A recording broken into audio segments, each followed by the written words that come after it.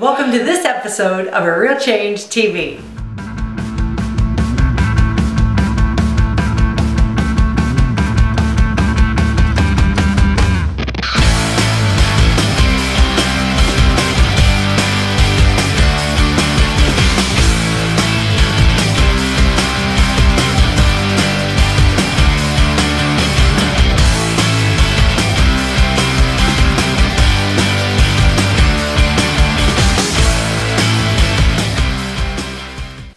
Sandi Krakowski with episode number eight of A Real Change TV. You're in my kitchen where for the last 15 years I've pretty much been cooking up profits and I've been reading your emails, your direct messages, your posts on Twitter and Facebook and I'm going to answer a question in this episode that many of you have been asking me about. You've been asking about beauty tips.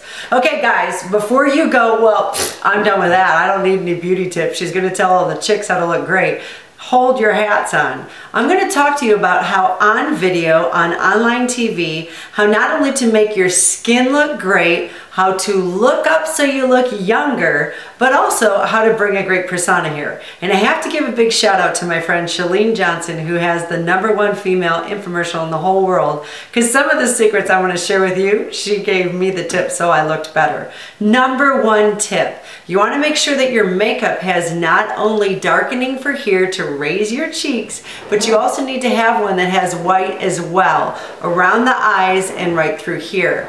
That makes you look longer and thinner and ladies when we're 48 or maybe we're not, we can use all the help we can get. Number two tip, make sure you look up into the camera. If you're looking down into the camera like this, your lines fall, your skin falls, and you really don't feel that great when you're talking like this. So look up into the camera helping yourself to look younger.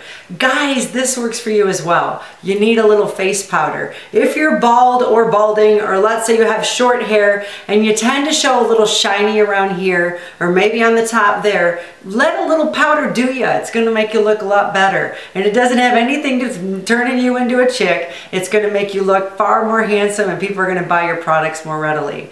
Number three tip, and this is the one that very few talk about Get your energy up, be real. Sometimes I need to do this before I do a video.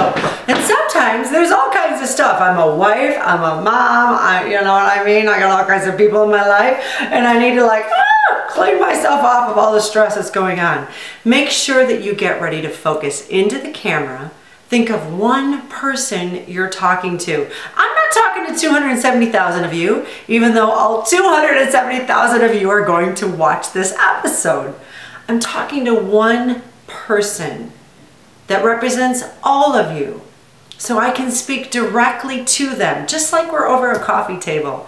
I want to be myself because quite frankly, if we get on the phone coaching or we do telecalls or anything else, I don't want any kind of disconnect.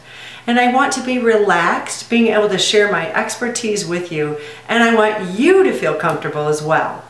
So actionable step number one, make sure you look your best. Ladies, that's gonna mean maybe a little root lift. Make sure you get your hair done the day that you do it. Make sure you're not like over glossing so that you have to do it super special every episode, but look your best. A little makeup and a little hairspray helps. Number two, Make sure that when you're talking to people, you're talking like one to many. Make sure that you're natural. Make sure that you're using the makeup to get off the shines, but make sure that your heart is shining through as well. Number three, get your spirit ready. Be ready to share. Work more on yourself than anything else in your business because you are your number one asset in your company. It's important for you to work on yourself so people can receive the gift that God put inside of you. I hope you enjoyed this episode. I look forward to talking to you soon. Bye-bye.